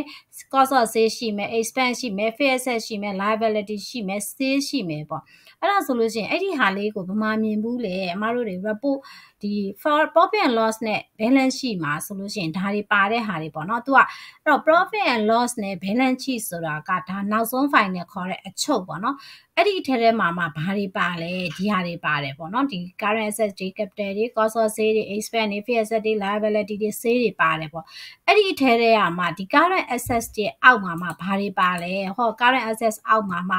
မှဒါမျိုးတွေပါမယ်ပေါ့နော်ဒီ cash in hand ဘာညာပါမယ် fixed asset အောက်မှာဒါတွေပါမယအဲ့တော့ပြောချင်တာကကြတော့ဒီ profit and loss balance sheet เนาะ profit and loss သူကဒီလိုကြီးကွာဒီလိုမျိုးရှိမယ်သူ့ရဲ့အချုပ်က profit and loss PNL ပေါ့နော် PNL ဒါအချုပ်ပေါ့နော်ပြီးလို့ရှိရင်ဒီဘက်က balance sheet ပေါ့နော် balance sheet ရှိမယ် အဲ့ဒီအဲ့တော့ PNL အောက်မှာဘာပါမလဲတွက်ကြည့်ပေါ့နော် PNL အောက်မှာဆိုလို့ရှိရင်ဘာပါမလဲဆိုလို့ရှိရင်ဒီ PNL အောက်မှာပထမဆုံးဆေးရှိမယ်ဆေးရင်ကန်းရှိမယ်ပြီးလို့ရှိရင် cost of ဆေးရှိမယ်နော် COGS ရှိမယ်နော်အဲ COGS ရှိမယ်ပြီးလို့ရှိရင် ဟိုဗာလဲဆိုရင် XCOGS sales တွေကနေပြီးတော့ဟိုစာ cost of sale ကိုနှုတ်လိုက်ပြီဆိုလို့ရှိရင်ဘာထပ်မလဲဆိုရင် GP ထွက်မယ်အဲပြီးလို့ရှိရင် expand တွေနှုတ်လိုက်လို့ရှိရင် NP ထွက်မယ်ပေါ့ဒီလိုထွက်မယ်ပေါ့နော်အဲ sales ရှိမယ် cost of sale ရှိမယ်အဲ့နှစ်ခုတည်းကဟိုဒီဟိုဟာကိုနှုတ်လိုက်မယ်ဆိုလို့ရှိရင်နော် GB ထွက်မယ် GB တွေကနေပြီးတော့ expand ကိုထပ်ပြီးတော့နှုတ်မယ်ဆိုလို့ရှိရင်သူက NP ထွက်မယ်ပေါ့နော်အဲ့တော့ဒီဟာတွေအကုန်လုံးကအဲ့တော့ sales တွေအဲဒီ sales တွေ COGS တွေเนาะအဲ့ထဲမှာပါတဲ့ဥစား sales ပါမယ် COGS ပါမယ် expense ပါမယ်ပေါ့ဒီသုံးမျိုးဒီသုံးမျိုးကကြတော့ profit loss တွေပါတယ်ပေါ့ balance ရှိမှာဆိုလို့ရှိရင် assets မှာဆိုလို့ရှိရင် current assets ပါမယ် current assets ပါမယ်ပြီးလို့ရှိရင်အာပြီးလို့ရှိရင်ဗာလဲဆိုရင် fixed asset ပါမယ်ပေါ့เนาะဒါက asset ပြီးလို့ရှိရင်ဒါ ဒီဟာက balance ရှိရဲ့ debit ချမ်းမှာပေါ့နောက်တစ်ခုကကြတော့ဘာအဲ့ဒါဆိုလို့ရှိရင်အဲ့နှစ်ခုပေါင်းလို့ရှိရင် net assets ပေါ့နော်ဒီက net asset ရှိမယ် net asset ရှိမယ်ပေါ့ဒီနှစ်ခုပေါင်းလိုက်လို့ရှိရင်သူက net asset ဖြစ်မယ်အဲ့ဒီ net asset နဲ့ပေါ့နော်ဒီဟာ net asset နဲ့နောက်တစ်ခုကဘာပါမလဲဆိုလို့ရှိရင် capital ပေါ့ capital ပါမယ်ပြီးလို့ရှိရင်ဘာပါမလဲဆိုရင် retain earning ပေါ့ retain earning ပါမယ်ပေါ့အဲ့ဒါဆိုလို့ရှိရင်ဒါက net liability ပေါ့နော်လာ liability ပေါ့အဲ့တော့ဒီဟာနှစ်ခုပေါင်းခြင်းကိုเนาะဒါက အဲ့တော့ဒီနှစ်ခုဒီ access နှစ်ခုပေါင်းတာနဲ့ဒီမှာ liability ပေါင်းတာနဲ့ဒီနှစ်ခုကဘာဖြစ်နေရမလဲဆိုညီနေရမယ်အဲ့တော့အဲ့ထဲထဲမှာပါတာဘာတွေပါမလဲဆိုရင်ဒီ current access တွေပါမယ်เนาะ current access ပါမယ်เนาะ pay access ပါမယ်ပြီးလို့ရှိရင် capital ပါမယ် retain earning ပါမယ်ပေါ့နော် retain earning ကတော့ဒီဒီကောင်ဒီကောင်ပေါ့ net profit လေးကဒီကိုသွားမှာပေါ့နော်အဲ့တော့ဒီ retain earning ဆိုတာကတော့ဒီ net profit လေးပါပဲတရားလေးပါပဲเนาะဒါလေးအဲ့တော့အဲ့လိုမျိုးလေးဆိုအဲ့တော့ပြောချင်တာခုနအမပြခဲ့တဲ့အထဲမှာ sales တွေ COGS တွေ expense တွေက profit loss ထဲမှာပါတယ်เนาะ သူ့ရဲ့ဟိုဟာကြတော့ဒီ current asset fair asset နဲ့ capital တွေ capital တွေ retain earning တွေကကြတော့ retain earning ကတော့တစ်ချက်တော့ကောင်းနေမပါဘူးပေါ့နော်ပြီးတော့ဥစားဒီ closing inventory opening inventory မပါဘူးအာဒီ inventory တစ်ခုတော့ပါမှာပေါ့နော်ဒါပေမဲ့ဟိုဟာပေါ့အဲ inventory ကလည်းဟိုဥစားပေါ့ချက်တော့အကောင့်ထဲမှာတကယ်တော့မပါဘူးဒါပေမဲ့ access ထဲမှာအမကရေးတော့ရေးပေးထားတယ်ဒါပေမဲ့တကယ်တကယ်ကြတော့နောက်ဆုံးကျ inventory ကိုကောက် calculation လုပ်ပြီးတော့အဲ့ဒီမှာအမတို့ကသွားပြီးတော့ထည့်လိုက်ရုံပဲဟိုနှစ်ဖက်ထွက်လိုက်ရုံပေါ့နော်တစ်ဖက်မှာ debit နဲ့တစ်ဖက်မှာ credit ထည့်လိုက်ရုံပဲပေါ့နော်ဒီ retain earning ဆိုလို့ရှိရင် net profit ကအမောင်လေးကိုညီမြချင်းလေးထိုးပြီး retain earning လေးကိုထည့်လိုက်ရုံပဲပေါ့နော်အဲ့တော့အဲ့ဒါဆိုလို့ရှိရင်အခုဒီမှာပါတဲ့ဒီမှာ3ခုရှိမယ်ဒီမှာ2ခု၄2ခုဆိုတော့5ခုဒီကောင်လေးရဆို6ခုပေါ့အဲ့တော့အမကရှင်းပြတဲ့ရှင်းပြတဲ့ file ဘယ်ရောက်သွားလဲဒီမှာပေါ့နော်အာဒီကောင်လားอืมဟုတ်ပါ free online class မဟုတ်ဘူးဒီကောင်လေးပေါ့နော်အဲ့တော့ဒီမှာဆိုလို့ရှိရင်ဒီမှာ fair asset fair current assets ဘယ်အောက်မှာလဲရှိလဲဆိုလို့ရှိရင် balance sheet အောက်မှာရှိတယ် capital ဘယ်အောက်မှာရှိလဲဆိုလို့ရှိရင် balance sheet အောက်မှာရှိတယ် COGS ဘယ်အောက်မှာရှိလဲဆိုလို့ရှိရင် profit and loss အောက်မှာရှိတယ် expense ဘယ်အောက်မှာရှိလဲဆိုလို့ရှိရင် profit and loss loss အောက်မှာရှိတယ် fair asset ကဘယ်အောက်မှာရှိလဲဆိုလို့ရှိရင် balance sheet အောက်မှာရှိမယ် liability balance sheet အောက်မှာရှိမယ် sales က profit and loss အောက်မှာရှိမယ်ပေါ့ဒါလေးတွေကိုအမ type လေးတွေနဲ့ခွဲပေးထားတာပေါ့နော်ဟုတ်ပြီအဲ့ဒါဆိုလို့ရှိရင်အခု ဒီမှာဆို financial and fitting financial and fitting as ကဒီ financial and fitting အတွက်ကိုသူကဘာလဲဆိုလို့ရှိရင်ဒီဝယ်တယ်ပေါ့နော် fair asset တွေဝယ်တယ် financial တွေဝယ်တယ်ဆိုရင်ဒီစင်းတွေကိုဒီစင်းခေါင်းစဉ်တွေကိုထည့်မယ်ပေါ့နော်အဲချက်တော့ကောင်ဆိုတာစင်းခေါင်းစဉ်ကိုပြောတာပေါ့နော်သူက depreciation တွေရှိတဲ့အတွက်အဲသူ့ရဲ့ဒီလောက်ကုန်ပြီဆိုရင်မတို့ depreciation charge လုပ်လို့ရှိရင် depreciation အကောင့်မှာ debit accumulated အဲ depreciation furniture အကောင့်မှာ debit ပေါ့နော်အဲအခု sorry depreciation ကမှ debit accumulated မှာ credit ပေါ့နော်အဲ့လိုမျိုးဆိုရင်ဒီကောင်က balance sheet အောက်မှာဆိုလို့ရှိရင်ဒီ at cost ရနေပြီးတော့ဒီ depreciation ကိုဒီ accumulated ကိုနှုတ်လိုက်လို့ရှိရင် तू ကဟို net book value ရမယ်ပေါ့နော်ဒါမျိုးလေးရှိမယ်နောက်တစ်ခါ computer ရဲ့ pre-vehicle ပေါ့နော် computer နဲ့ဆက်ဆက်ပစ္စည်းတွေပေါ့နော် device တွေအဲ့ဒီဟာတွေကိုဒီစင်းကောင်းစင်တွေထည့်မယ်ဒါကကြတော့သူ့ရဲ့ depreciation ချိတ်ဖို့အတွက် accumulated ဖြစ်တယ်နောက်တစ်ခါ motor vehicle ကားတွေဝယ်တယ်ဆိုရင်ဒီထဲကိုထည့်မယ်ပြီးလို့ရှိရင် motor vehicle vehicle ရဲ့ depreciation တွေကိုဒီမှာဒီ accumulated နဲ့ချိန်မယ်ပေါ့နော်နောက်တစ်ခါ office equipment ဒီ office equipment ဆိုတာကတော့ရုံးသုံးပစ္စည်းတွေပေါ့မှာအာဘယ်လိုဟာတွေလဲဆိုလို့ရှိရင်မှာရေခဲတက်တာတို့ဘာလို့လဲပါတယ်ပေါ့နော်ရေခဲတက်တာလေးတွေတခြား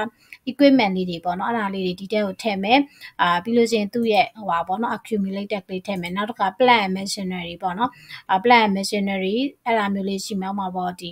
ဟိုပါဒီပေါ့ generator တို့ဘာလို့ဆိုလဲ plant machinery တွေပါတာပေါ့နော်အဲ့လို set ကလေးတွေထည့်မယ်သူ့ရဲ့ depreciation ကိုဒီကောင်နဲ့ဂျာနယ်ရိုက်မယ်ပေါ့နော်အဲအဲဂျာနယ်အဲ့တော့ဂျာနယ်အထားပါဂျာနယ်ကိုလည်းနောက်မှပြောပြမယ်ပေါ့နော်အဲ့နောက်တစ်ခါဘာရှိမလဲ cash in hand ရှိမယ်ပေါ့နော် cash on hand ရှိမယ်လက်လက်ထဲမှာရှိရဲ့လက်ငွေသားရှိမယ်ပြီးလို့ရှိရင် cash app ဘန်ဘန်ကူးခင်မှာဘန်နေအများကြီးဖြစ်လာတဲ့အတွက်ဘန်နေထဲမှာလည်းဟိုစားငွေဘန်နေထဲမှာလည်းငွေထည့်တာရှိမယ်ပေါ့နော်အဲ့တော့ အဲ့တော့ဒီဟာကြတော့ cash app bank မှာအကယ်လို့များကိုရှိမှာဟိုပေါ့နော်ဘဏ်တစ်ခုတည်းမဟုတ်ဘူးတခြားနာမည်ရှိမှာဆိုလို့ရှိရင်ဒီနေရာမှာ cash app bank လို့မပြောဘဲနဲ့အဲ AYA မြန်မာကျပ် AYA USD CB မြန်မာကျပ် CB USD ဒါတွေအများကြီးဒီမှာဒီမှာဒီနေရာလေးမှာအစားထိုးပြီးတော့ကိုကထည့်သွားလို့ရတယ်ပေါ့နော်သူ့ရဲ့ bank name လေးတွေထည့်သွားလို့ရတယ်အဲ့ခါကျမှကိုကအမှပေါ့ cash ထဲကငွေကို AYA ကိုထည့်လိုက်တယ်ဆိုရင် AYA သူ့ရဲ့စင်းခေါင်းစဉ်အောက်ကိုထည့်လိုက်ပေါ့နော်ဟို contra ပေါ့နော်ဒီငွေသုံးတာမဟုတ်ဘဲနဲ့ဟိုဘက်ဒီဘက်ကို ငွေတွေရွှေ့တယ်ဆိုရင်သူက contra လို့ခေါ်တယ်ပေါ့နော်အဲ့တော့ contra လုပ်ပြီဆိုလို့ရှိရင်ဒီနေရာမှာ AYA ဘဏ်မြန်မာကျပ်ဆိုမြန်မာကျပ် USD ဆို USD ပေါ့အဲ့တော့ဒီမှာ cash in hand မှာလဲကိုကကိုယ့်ရဲ့ company က multi currency ဒေါ်လာတွေလည်းကင်တယ်တခြားတခြားဟာတွေလည်းကင်တယ်ဆိုလို့ရှိရင် cash in hand USD cash in hand မြန်မာကျပ်အဲ့လိုမျိုးလေးတွေခွဲထားပေါ့နော်ဘဏ်တွေဆိုလို့ရှိရင်လည်းဘဏ် name တွေပေါ့နော်ဒီစာ AYA မြန်မာ AYA MMK AYA USD CBMMK CBUSD KBZ MMK KBZ US USD ဒီလိုမျိုးလေးတွေခွဲထားပေါ့နောက်တစ်ခါ petty cash petty cash မှာဆိုလို့ရှိရင်လည်း သူကကိုယ့်ရဲ့အကောင့်မှာပေါ့နော်ကိုယ့်ရှိမှာ petty cash ကိုမှဒေါ်လာတွေလည်းရှိတယ်တခြားစင်ကာပူဒေါ်လာတွေလည်းရှိတယ်ဆိုရင် petty cash မြန်မာကျပ်ရှိမယ် petty cash USD ရှိမယ် petty cash စင်ကာပူဒေါ်လာရှိမယ်ဒါမျိုးလေးဒီမှာခွဲထည့်သွားလို့ရတယ်ပေါ့နော်နောက်တစ်ခါ account receipt ရေးပဲ account receipt ရေးပဲအားကြတော့ဒီအမားတို့တွေဒီပစ္စည်းတွေရောင်းပြီဆိုလို့ရှိရင် cash ဆေးတွေရှိမယ် credit ဆေးတွေရှိမယ်ပေါ့နော် cash ဆေးတွေဆိုလို့ရှိရင်တော့ဒီ account receipt ရေးပဲနဲ့သူကမချိတ်ဘူးပေါ့နော်မချိတ်ဘူးဒီ credit ဆေးဆိုရင်တော့ချိတ်တယ်ပေါ့ဒါပေမဲ့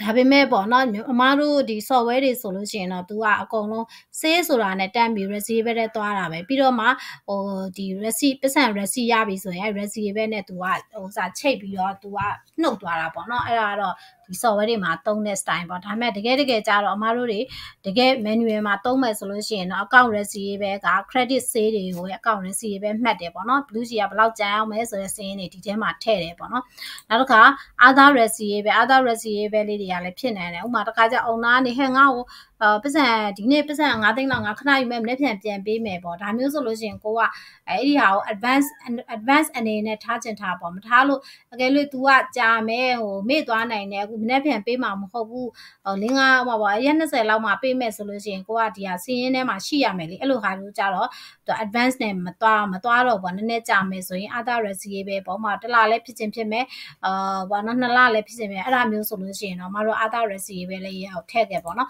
ဒီ receipt ရေးပဲမှာဟိုပေါ့နော်ဒီလိုမျိုး account receipt ရေးပဲမဟုတ်တဲ့ဟာပေါ့ account receipt ရေးပဲဆိုတာကတော့ तू က main ပေါ့အမတို့ကဘာရောင်းတာလဲပေါ့နော်ရောင်းတဲ့ပစ္စည်းပေါ်မှာဟိုကိုယ့်ရဲ့ customer ပေါ့ကိုရောင်းကိုကမှာပေါ့ကိုကဘီလက်မြေရောင်းနေဆိုရင်ဘီလက်မြေဝယ်တဲ့သူကဒါကိုယ့်ရဲ့ main customer trade customer ပေါ့ trade trade ပေါ့နော်ဒီကိုရောင်းတဲ့ပစ္စည်းရဲ့ customer ပေါ့နော်အဲ့လိုမဟုတ်ဘဲနဲ့အာတခုခု ပေါ့နော်ရစရာရှိတဲ့တခြားရစရာရှိတဲ့ဟာလေးတွေဆိုလို့ရှိရင်တော့သူက customer မဟုတ်တော့ဘူးပေါ့နော်ဥပမာဥပမာထားပါတော့အော်ဒီကိုကငါဒီဟိုမှာပေါ့ဒါပါတော့အခန်းလေးတစ်ခန်းပေါ့ကုမ္ပဏီကပိုင်တဲ့အခန်းလေးတစ်ခန်းငှားထားလိုက်တယ်အဲ့ဒီကနေပြီးတော့ rent နဲ့ပတ်သက်ပြီးတော့ပတ်စံလေးရဖို့ရှိတယ်ဆိုလို့ရှိရင်အမတို့ကနေပြီးတော့ဩဟိုဒီလာအတွက်ကိုငွေရဝင်ရမှာ तू ကမပေးသေးဘူးဆိုလို့ရှိရင်အမတို့က interest income လို့ပြထားမှာပေါ့နော် interest income လို့ပြတာငွေရတော့မဝင်သေးတာဖြစ်တဲ့အတွက်ဂျာနယ်ပေါ့နော်ဂျာနယ် interest income မှာ तू ကဘာလဲဆိုရင် credit နဲ့ရိုက်ထားပြီးတော့ other receipt ပဲမှာ debit ရိုက်ထားတာပေါ့ဘာလို့လဲဆိုတော့ तू ကအမတို့ရဲ့ main ရောင်းချနေတဲ့ပစ္စည်းကိုဝယ်တဲ့ဟာမဟုတ်တဲ့အတွက်ပေါ့နော်အဲ့ဒါကြောင့်မို့လို့ဒီ other receipt ပဲအဲ့တော့အမီဒီ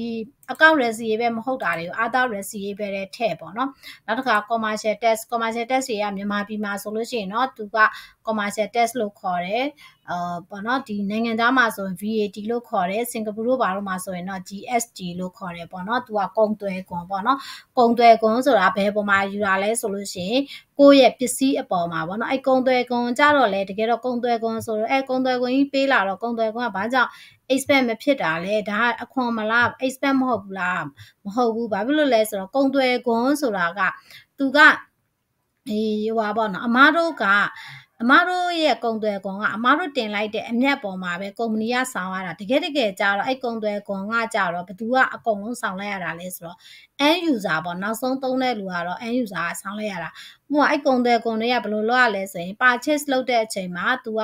plus 5%နဲ့ तू ကကုန်တဲ့ကုန်ဥပမာ100တန်ပစ္စည်းဝယ်လိုက်တယ်ဆိုရင် तू ကို105ကျပ်ပေးလိုက်ရတယ်အဲ့105ကျပ်မှာ105ကျပ်လုံးကအမားတို့ရဲ့ purchase cost မဟုတ်ဘူးအမားတို့ရဲ့ cost မဟုတ်ဘူးပေါ့နော်အဲ့ဒီ5ချက်ကဆိုလို့ရှိရင်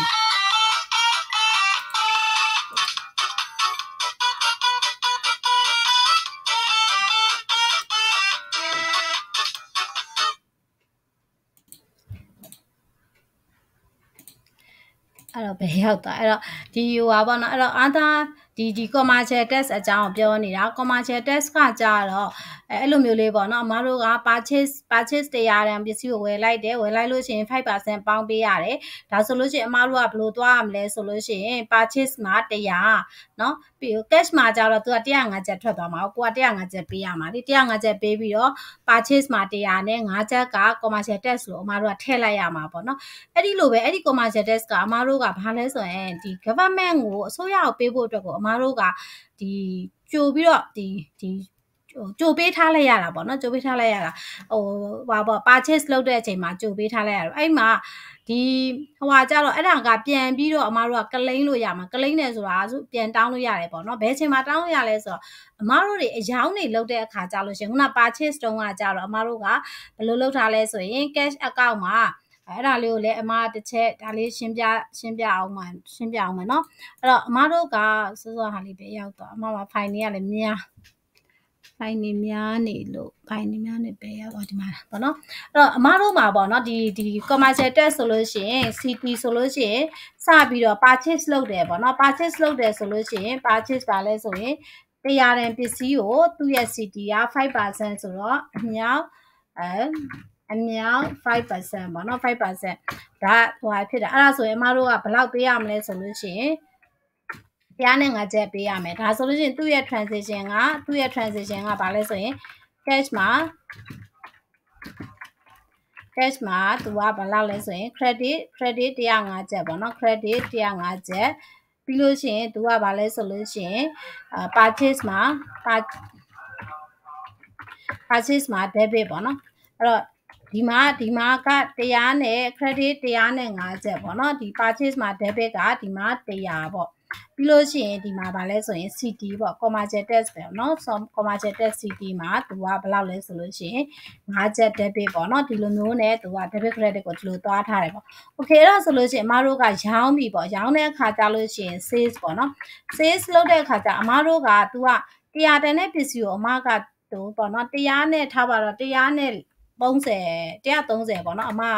130နဲ့30 တင်လိုက်တယ်ပေါ့နော်30တင်လိုက်ပြီးတော့အမကရောင်းတယ်ပေါ့130နဲ့ရောင်းတယ်ဒါဆိုလို့ရှိရင်အမတို့ရဲ့ဟိုဟာကကြတော့ entry ကဘယ်လိုလဲဆိုလို့ရှိရင်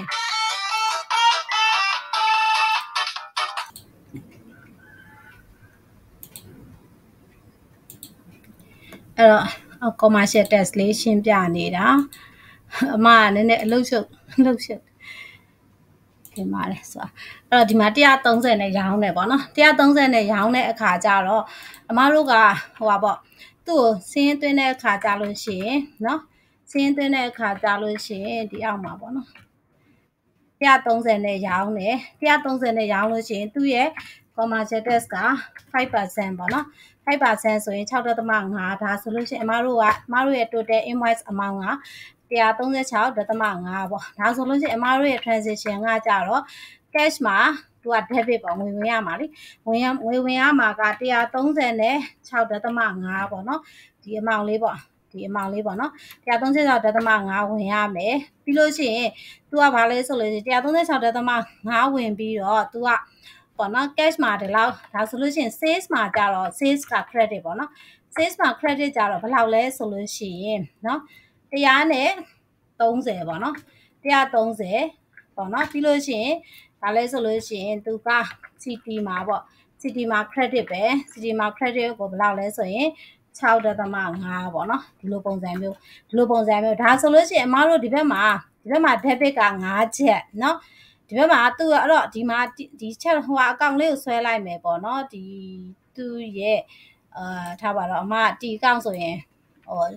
တီကောင်လေးဆွဲလိုက်ပါအောင်မနော်တီကောင်ဘာဆိုမြင်အောင်လို့လေနော်အဲ့တော့တီကောင်လေးဆွဲလိုက်မယ်ဆွဲဒီမှာဒါဆိုလို့ရှိရင် CT ဆိုပြီးတော့အကောင့်ပေါ့အဲ့တော့ဒီမှာတစ်ချိန်သွင်းတော့ကကြတော့ debit debit မှာသူကဘယ်လောက်လဲဆိုရင်5ချက်နော်5ချက်တွေကဘယ်တော့လဲဆိုရင် purchase လုပ်တော့က debit 5ချက် debit 5ချက်နော် purchase နဲ့နော် debit 5ချက်ဆိုတင်ခဲ့တယ် sales လဲကြာလဲကြာရော तू ကဘယ်လောက်လဲဆိုရင် credit ဘယ်လောက်ဖြစ်သွားမလဲဆိုရင် 6.5ပေါ့နော်ဒီက sales မှာ sales မှာ credit 6.5ဆိုရောဖြစ်သွားဖြစ်သွားတဲ့အခါကျတော့เนาะအဲ့ဒါဆိုလို့ရှိရင်အခုအမတို့ကအစိုးရကိုခွန်သွင်းတဲ့အခါကျလို့ရှိရင်အစိုးရကိုအမတို့အတွက် commercial tax သွင်းတော့မယ်ဆိုအမတို့က ဒီမှာရှိတဲ့ balance လေးပေါ့နော်ဒါဆိုလို့ရှိရင်သူ့ရဲ့ balance ကဘယ်လောက်လဲဆိုလို့ရှိရင်နော်သူ့ရဲ့ balance က6.5တဲ့ဟာဒီ9ကိုနှုတ်လိုက်လို့ရှိရင်သူ့ရဲ့ balance ကဒီလောက်ပေါ့နော်ဒီ amount လေးပေါ့နော် ဒီ amount လေးကိုအမတို့ကဘာနဲ့ရိုက်မလဲဆိုလို့ရှိရင် cash နဲ့ရိုက်မယ်ပေါ့နော်ဒါငွေသွင်းပါဦးအဲ့တော့ဒါဆိုလို့ရှိရင်အမတို့ကငွေသွင်းပြီဆိုလို့ရှိရင် submit ပေါ့ CBMID submit CT ပေါ့ CT ကိုမတို့စင်းချင်းပြီဆိုလို့ရှိရင် cash မှာဗာလဲဆိုလို့ရှိရင် credit ပေါ့နော် cash မှာ credit เนาะ credit နဲ့ငွေထွက်သွားမယ်ပေါ့နော်ဘယ်လောက်လဲဆိုရင်1.5ပေါ့နော်ဘယ်မှာ debit လဲဆိုလို့ရှိရင် CT မှာ debit ပေါ့နော် CT မှာ debit 1.5ပေါ့အဲ့ဒါလေးကဘယ်ဟာလေးလဲဆိုရင်ဒါလေးကိုပြောတာပေါ့နော်ဒီဒီနှစ်ခုဒါလေးကိုပြောတာပေါ့နော်အဲဒီလိုပုံစံမျိုး CT မှာ debit ကဒီမှာသွားအဲ့ဒါဆိုလို့ရှိရင်အမတို့ရဲ့ဒီအကောင့်မှာဘာဖြစ်လဲဆိုရင်0 balance ဆိုပြီးတော့အကောင့်ကပိတ်သွားမယ်ပေါ့နော်တော်တော်မှငါလိုမျိုးလေးဒီလိုမျိုးလေးအကောင့်ကပိတ်သွားမယ်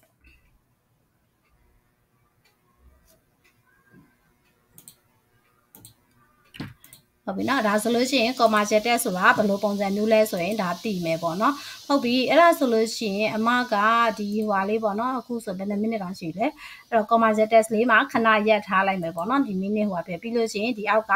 inventory လို့အမ section ပေးမယ်ပေါ့အဲ့ဒါဆိုရင်အမကရောက်တဲ့နေရာလေးကိုခဏမှတ်ထားလိုက်မယ်ပေါ့နော်ဒီနေရာလေးကိုမှတ်ထားလိုက်မယ်နော်ဟုတ်ပြီအဲ့ဒါဆိုလို့ရှိရင်နောက် video file မှာပြန်တွေ့မယ်